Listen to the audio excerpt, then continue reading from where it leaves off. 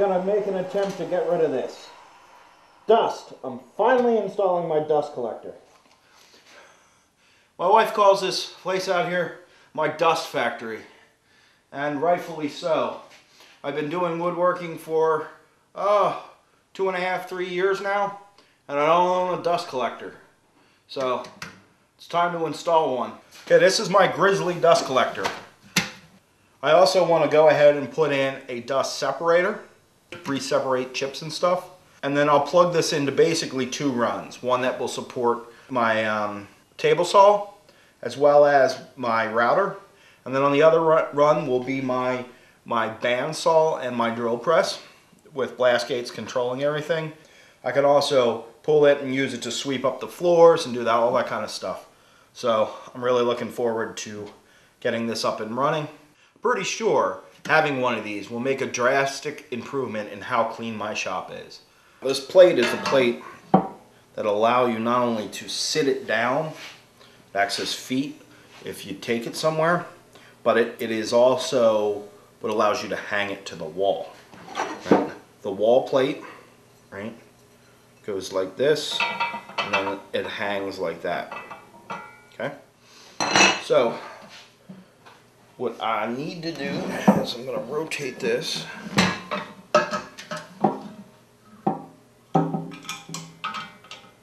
And I'm going to just go ahead and put these nuts in. Or these bolts. Went ahead and I finished screwing in the base. Now another thing we have to do is we have to put this foam insulation around. Uh, this is where the clamp will clamp onto and hold the, um, the bag on. Now, they don't really show exactly where to stick it, but I'm pretty sure you stick it, the clamp and everything on this side of the ridge. I mean, it seems to make sense that that's, the ridge helps hold that on. So, I'm just going to go ahead, and this foam is, you know, it's got sticky stuff, right? And I'm just going to go around. Of course it will do that.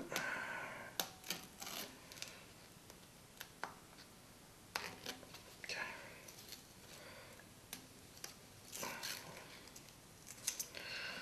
The tape is not coming off very well.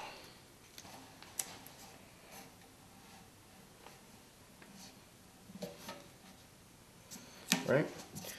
So there, it overlaps. Obviously, I don't think we want it to overlap. Okay, so I'll just get a knife and cut this. And I'll cut all the way down. Alright. So I can take this piece off. Lift this piece up. Take that. And I got a perfect fit. Okay. So then they give me a band clamp that wraps around it. I'll have to re-straighten it out because it was bent all which ways, but it should be okay. And then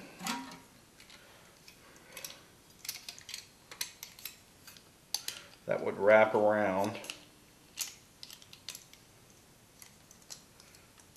And then this will lock it tightly in place.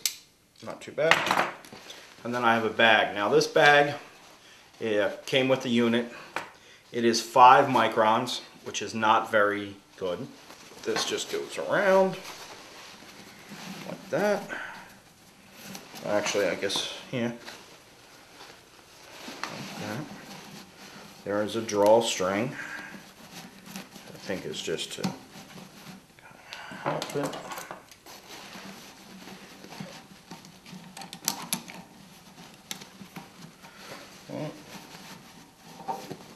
This comes up and around and then just locks the whole thing down. You want to try to get this where there's no gaps and all that jazz, but um, just for the demonstration, that's how it go. Now what we have left to do is mount this bracket on the wall. This is the bracket that mounts to the wall and holds this unit on that base plate we put on. They don't provide you with anything to mount this to the wall. So It's off to uh, one of those big box stores to get some lag screws to go into the wall. They want me to mount the dust collector 42 inches from the ground. Right there. Okay. And then I will draw a level line.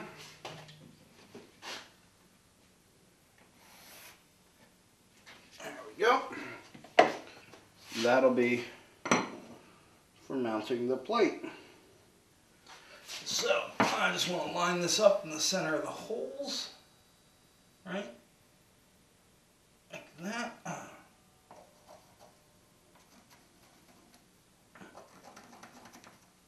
Okay, there's my positions, right? To go ahead and drill. Now the center one gets a lag screw right into the stud. And that's the one that's going to support the most of the weight. The other two get heavy duty kind of wall anchors that support about 75 pounds a piece. The, the support is mainly going to be on the stud. Okay, I chucked up the appropriate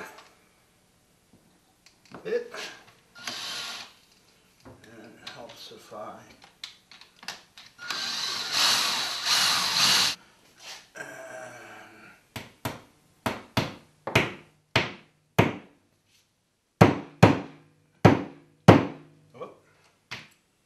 actually a stud there. Ah, I got a stud. Cool. I don't know why.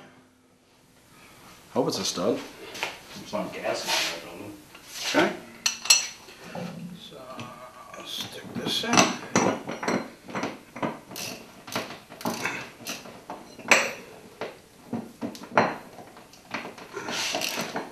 Go ahead and tighten this in.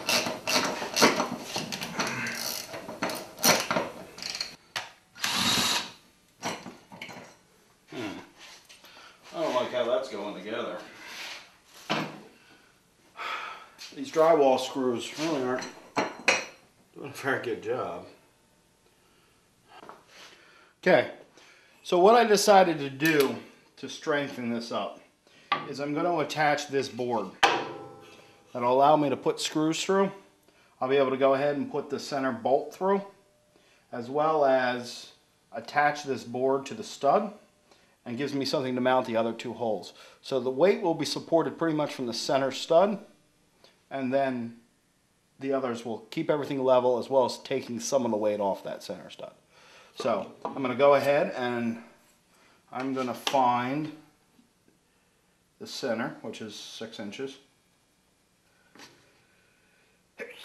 Oh, excuse me. Okay, so I drew couple places to drill holes as well as to drill a shank hole here to allow that center uh, lag screw to go through. So uh, I'm going to head over to the drill press and drill these out. First holes I'm going to drill is these two holes here that'll allow for the screws to screw into the stud.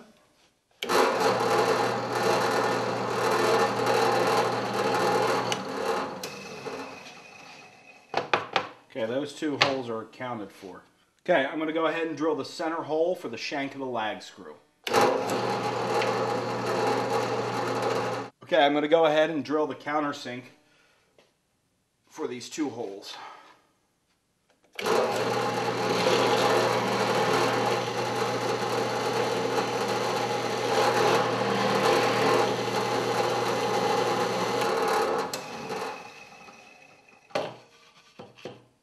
Okay. So the next two holes will go somewhere in here, but we'll wait until this is attached to the wall, and I'll actually drill them with the uh, with a, a hand drill, so we can get the placement and level everything out. So let's head back to the wall. Okay, what I what I've done is I put the block of wood on the wall, and I uh, put the lag screw in a little to kind of just hold it in place. I'm to go ahead and level it.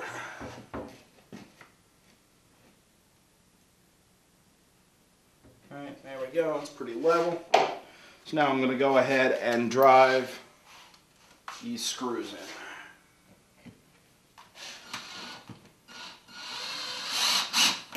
Alright.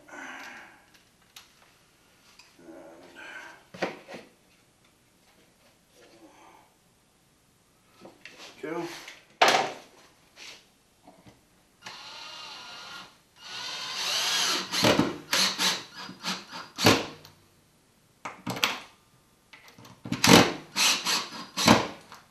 Okay. Now, what I'll do is I'll back this lag screw back out. It's only in a couple of turns. Take the plate with the lag screw and I'll attach that again.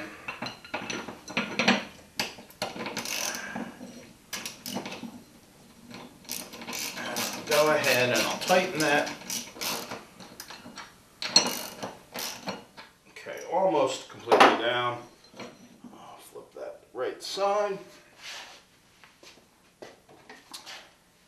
And I'll go ahead and I'll get ready to level this piece. Now it's more important that this piece is level compared to the back piece. The back piece was just kind of for show. This, this bracket is actually showing the, we're actually holding up the whole dust collector unit. Okay, I'm gonna go ahead and drill a pilot hole. Right, one there. and one there. So I have two pilot holes.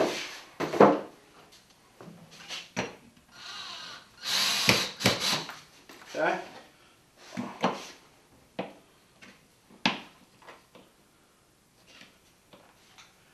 And now I'll go ahead and tighten the lag screw down. Right? And there we go. So now we have that in position.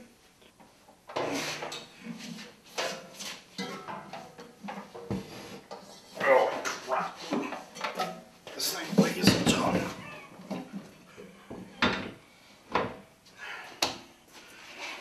And there we go.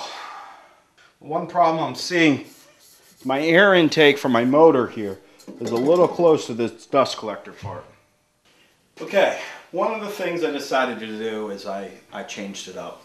Um, this was hanging there, no problem. I had no issues with it. It was about here. One problem, well, there were a couple issues, but as far as it hanging, it, was fine. Um, but the one issue I had was it put this over right up against the motor to my bandsaw. So there wasn't really enough room for the bag. The bag is going to be pretty big, right? So there wasn't the room for that bag. So I would have to move my drill or my um, my bandsaw down, taking up valuable space on the other side. I have my wood rack. So what I did is I put up this bigger board and I mounted here. I should have a stud right here, but I don't. And it's because of the way the house meets, I don't know, but there's no stud here. This is not in a stud. And I try not to put anything on it right now until I can find a better way to attach it. Um, so that's kind of one of the reasons. So I put this big board with these studs to give it plenty of support, and then these are lag screwed into this, as well as I think I did find a stud back here. Um, it's not here, it's here. So the center actually goes into long bolt in through the in through the stud of the wall. There's a wall that goes that way inside our house. So that's over here. Now I can slide the drill press down a little bit this way. That's fine, a couple inches. Plenty of room for the bag. Then uh, uh, coming off of this, we'll go over to a pre-separator over there. Then it will feed back this way. I know it's not the correct way. It's, it's really the only way I can do it. Um, but then I'll have a pipe running back here that will feed the bandsaw and then a smaller with a blast gate to just come up here and collect the dust with maybe like a, a flex hose or something to collect the dust from the drill press. Now next, what I have is I have one of these doohickeys. It is a remote for the dust collector, right? And what I'm what I think I'm going to do is I'm going to take one of these and I'm going to get a like a carabiner where I can put it on a belt loop and stick it in my pocket. And uh, I can turn on the dust collector remotely. So this is going to have to get mounted on the wall. It's not really that big of a deal. Mount it over here, maybe even right there. And uh, the power for the dust collector will come up and plug into that. Right? And then this will go to the outlet. Right? So I'm going to mount it up here. Has an antenna. I just want to make sure the antenna doesn't come up past past the lumber rack because I don't want to accidentally bend it. So, but it should do the quick. The the it should do the trick. It should do the quick. It should do the trick. Um, my shop's not that big, so I'm not really worried about range or anything. So now I have the bag. The bag will come up. Keep free as possible. Before I go ahead and apply that. So there we go. The bag's on. Installed the remote. Now it hangs there. I'd like to clean up the wires eventually once I get more done, but let's give it a shot. Oh, there's a switch here. It's an on and off.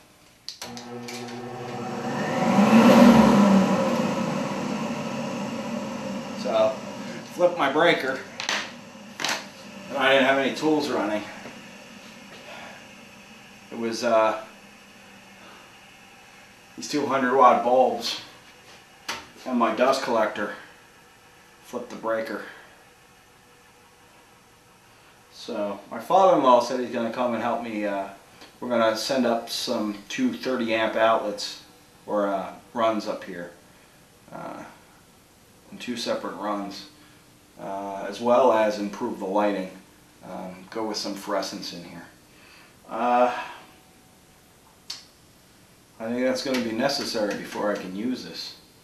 Um, I could probably kill the lights and, and just go ahead and use it.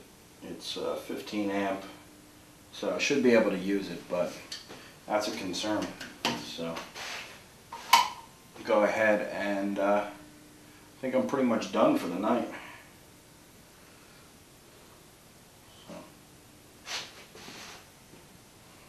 It'll work though, eventually once we get the power situations worked out. The power in here is not ideal. It's, it's, it, uh, it's scary at times. It's, it's a system of extension cords and um, because I only, they only put one outlet in this entire shop over on the one wall uh, that's on the house side.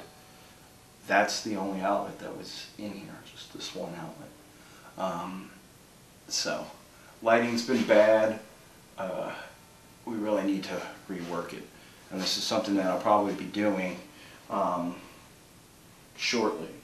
Uh, usually after Christmas, I, I it's becomes shop time. It's I, I just got done doing the Christmas rush of gifts and stuff, and it's time to reflect on what worked and what didn't work in the shop, and and I think that's what we're going to need to do. Um, running new lights and new power out here, two two brand new circuits. Um, I think that's what we need. So, or at least a 15 amper for this, and then because um, I never really run more than one tool at once. Um, I've, I've flipped the breaker a lot with a heater and, a, and the table saw. Um, but if I could put one circuit, this on a circuit, and I'd probably be good for everything else because I only do run one tool at a time.